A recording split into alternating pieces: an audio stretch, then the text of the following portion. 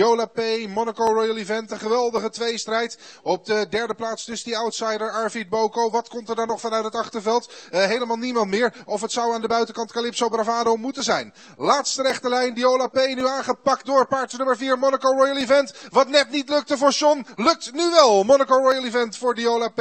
En op de derde plaats verdienstelijk Arvid Boko. De vier wint voor de twee en derde wordt de zeven. Het is voorlopig. We gaan huldigen, dames en heren, de winnaars van de Sinterklaas tijdprijs. En dat zijn geworden de vier Monaco Royal Event en John de Leeuw. Drie jaar deze Bruinheens Classic Crown Cru uit Miss Inspiration. Zweeds gefokt. Bezit van Stal PD, trainer Bas Krebas. En in de sulky in dit geval John de Leeuw. En ook voor John zo dadelijk een uh, banketletter namens de Sinterklaas. Ik zou bijna zeggen de PSA, maar het is toch echt die, uh, die paljas met die baard.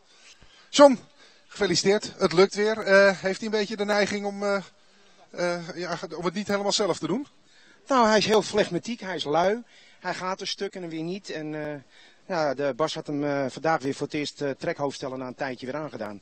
En daar heb ik zo lang mogelijk mee gewacht tot ik de hoek uitkwam. En dat nam mijn voordeel. Ja, toen schoot hij weg. Ja, toen begon hij eigenlijk pas. Heel mooi, John. Dat is goed nieuws, want het is een zweet. Uh, klassiekers volgend jaar. Heeft hij dat soort uh, talent? Nou, op zeer zeker talent. Alleen, uh, ja, daar gaat de trainer natuurlijk over. Daar mag ik niks over zeggen. Hè? Daar mag je niks over zeggen. Bas, heb je die, die ambitie nog? Ja, we dromen dat John ermee gaat rijden in de Zweedse derby volgend jaar. Maar ik heb nog even wat winst nodig, maar daar werken we aan. Hij loopt dit jaar nog één keer en dan gaat hij op rust. Oké, okay, duidelijk. Op rust, terwijl hij eigenlijk net in vorm is. Maar Bas uh, is met een uh, plan bezig. En dat plan uh, dat richt zich op volgend jaar in de zomermaanden. En dus zal niemand daar iets anders bij gaan bedenken. U kunt in handen, dames en heren, voor de winnaars van de tweede koers alweer John de Leeuw met Monaco Royal Event.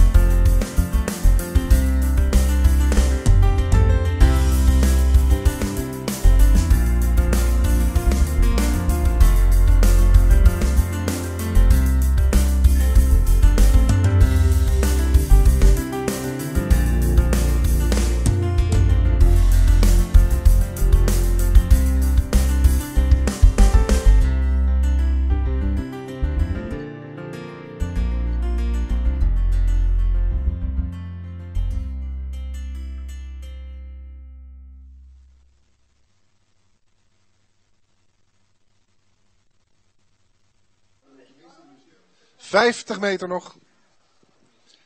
De start is gevallen als een komeet. Diola P aan de binnenzijde. Die pakt de leiding. Op de tweede plaats hebben we dan nummer 3 van Dorad Legum. Die parkeert in. Galopaan aan de buitenkant van Dutch Buitenzorg.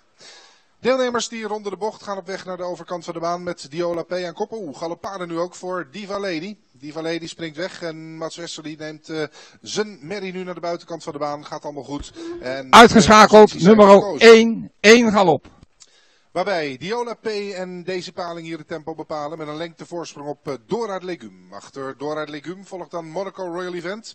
En het eerste paard aan de buitenkant is een opkomende Calypso Bravado. Aan de binnenzijde van Calypso Bravado volgt dan de 7 en dat is Arvid Boko. En die Arvid Boko die wordt dan weer op een lengte gevolgd door Kozaidu. En achter Kozaidu paard nummer 5 Dutch Buitenzorg. Paarden komen in de rechte lijn voor de tribune. Twee rondes te gaan en Diola P op dit moment uh, sterk aan kop van het veld. Lengte voor op de tweede plaats aan de binnenzijde. De drie Dora Legum en John de Leeuw achter tijd rijp. Om zijn Monaco Royal Event in het tweede spoor naar voren te sturen. Passeert daarbij Jusia die op de vierde plaats ligt met Arvid Boko. En achter deze paarden in het tweede spoor Calypso Bravado aan de binnenzijde Dutch Buitenzorg. En op een uh, lengte daarachter is er uh, ook nog aansluiting voor Niels Jongejans. En hij rijdt hier paard nummer 8, Cause I Do.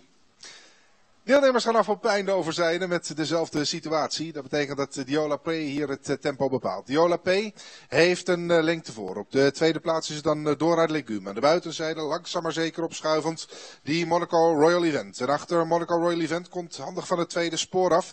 Paard nummer 7 Arvid Boko. Die heeft een koers op maat gekregen van Erik Jusia. Eens kijken of er dan vandaag ook wat te halen valt. Deelnemers gaan af op de laatste ronde. En het ziet er voor de koploper nog altijd aardig goed uit. Die lijkt ja, met de handen vol te zitten die deze paling achter Diola P. Maar je kan er niet helemaal gerust op zijn, want aan de buitenzijde komt daar die Monaco Royal Event op de tweede plaats voorbij aan paard nummer 3 Dora Legum. Aan de buitenzijde meldt zich paard nummer 7 Arvid Boko, gigant van een outsider, maar die doet wel degelijk mee voor de betere plaatsen. En achter deze paarden is ook naar voren gekomen Dutch Buitenzorg naar die galoppade in de beginfase.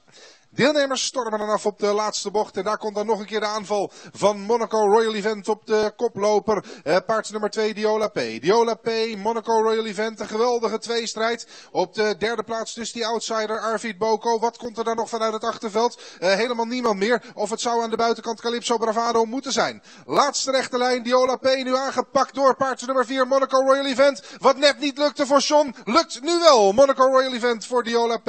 En op de derde plaats verdienstelijk Arvid Boko. De vier wint voor de twee en derde wordt de zeven. Het is voorlopig.